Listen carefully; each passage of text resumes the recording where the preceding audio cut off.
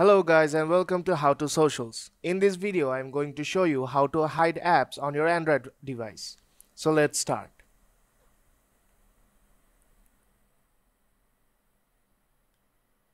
First open Google Play Store and search for Apex Launcher app. Since I have downloaded it, I'll just open the Apex Launcher app.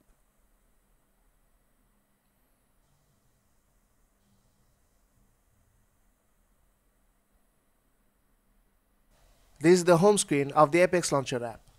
From here, you'll tap on Apex Settings. Now you'll see Hidden Apps. Tap on that. At the bottom of the screen, you'll see an option to hide apps. Tap on that.